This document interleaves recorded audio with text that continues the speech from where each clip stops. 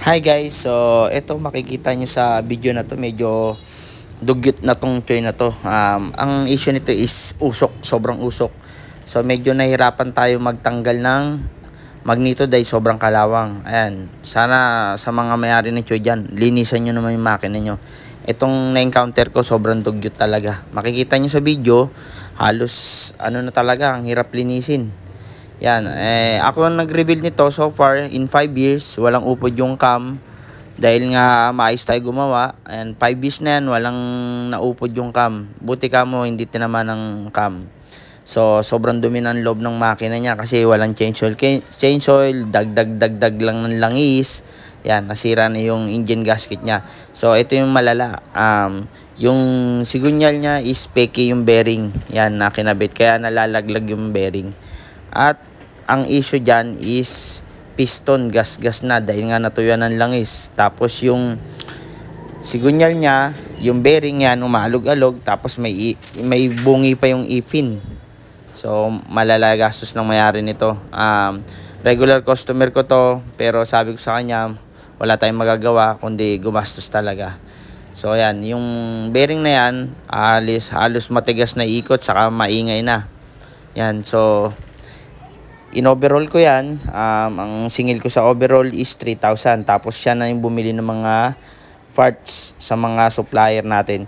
So ayan makikita nyo nalinisan ko na yung makina niyan. Hindi na dugyot, sobrang linis na kung makita nyo sa video.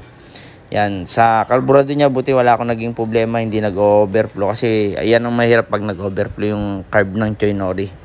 Yan yung isang sakit na malala pag ang carburetor nyo eh overflow cancer tawag ba? Kumbaga sa sakit ng tao cancer na. So yan inintay ko yung pesa niyan yan. After ko mabuo yan nakita nyo sobrang linis na ng makina. So in overtime ko yan hanggang alas 2 ng madaling araw kasi kailangan daw na ni ni customer na magamit kinabukasan dahil Mother's Day. So tinapos natin hanggang madaling araw yan. So worth it naman kasi 3,000 yung binayad niya sa akin na sa labor So, after ko mabuo, yan, um, makikita nyo sa last video, um, maganda tumakbo, saka walang walang usok, saka tumahimik yung makina.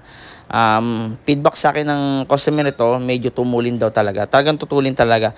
Kapag gusto nyo talagang tumulin ng choy nyo, ipa-overall nyo, palitan nyo ng belt, ng bola, ng metal cam, ng piston, kung nesesaring palitan yung mga bagay na nabanggit ko at kung kinakailangan nyo palitan at dapat may budget din kayo kasi yung may-ari nito ay eh, matagal ko ng customer saka naka-budget na talaga siya.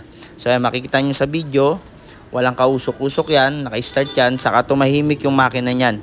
So sa magtatanong magkano overall, ang overall all ko sa buong makina is labor ko is 3,000 quality works. Ngayon, kayo ang bibili ng mga sarili nyong parts kay Eds. Yo, so, pa